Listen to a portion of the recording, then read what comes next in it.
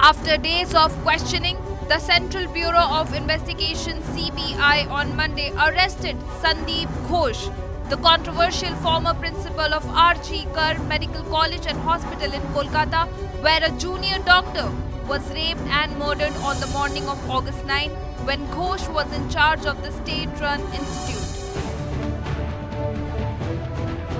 Ghosh was arrested on the 16th day of his daily interrogation by the central agency, which took over the probe from the Kolkata police following the direction of the Calcutta High Court on August 14.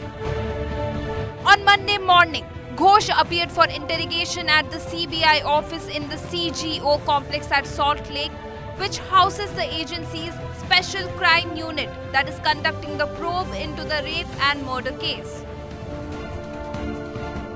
After being questioned there throughout the day, Ghosh was taken into CBI's Nizam Palace office, which houses the agency's economic offences wing that is conducting the parallel probe into the allegations of financial irregularities at RG Kar. A section of the medical fraternity has been protesting since the gruesome incident, suggesting that the doctor might have become a target after discovering disturbing secrets about the hospital management led by Ghosh. Bureau Report, OTV News.